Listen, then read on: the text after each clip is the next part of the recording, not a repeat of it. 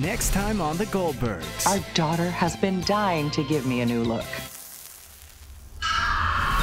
Thursday at 10:30.